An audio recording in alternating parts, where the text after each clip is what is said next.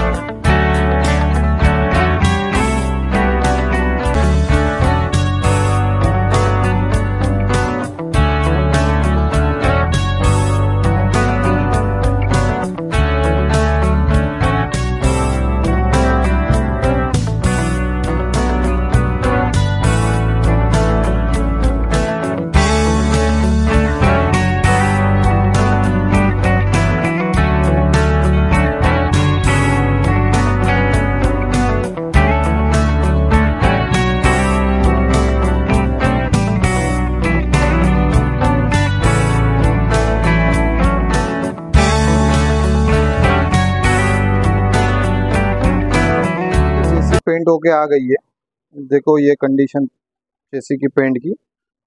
आप देख सकते हो और इसमें काफ़ी सारे मतलब पैच वर्क थे जो हम लोग ने कंप्लीट किए। जैसे कि यहाँ रस्टेड था सा पूरा, यहाँ से यहाँ तक। और पीछे बाजू भी रस्टेड था यहाँ पे। तो हम लोग ने उसको कंप्लीट करके पूरी पेंट किए है। अभी इसका फिटिंग हो जाएगा तो मैं आपको दिखा देता हूँ। चालू।